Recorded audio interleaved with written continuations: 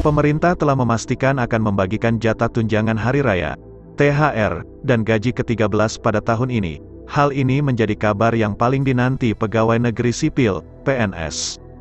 Meski telah diatur dalam kerangka ekonomi makro dan pokok-pokok kebijakan fiskal, KEM PPKF 2023, tetapi PNS masih menanti kejelasan pembayarannya, penuh atau masih dipangkas.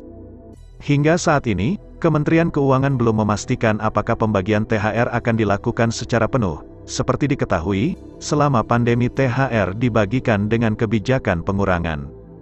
Adapun, selama pandemi COVID-19 menghantam Indonesia, pemerintah melakukan penyesuaian pada besaran gaji ke-13 PNS. Selama dua tahun berturut-turut, pencairan gaji ke-13 PNS tak dilakukan secara penuh. Pada 2020 dan 2021, para PNS tidak mendapatkan tukin dalam pencairan gaji ke-13 dan juga THR. Dengan demikian, besaran gaji ke-13 PNS dan juga THR saat itu hanya berupa gaji pokok, tunjangan keluarga, dan tunjangan jabatan tanpa tunjangan kinerja.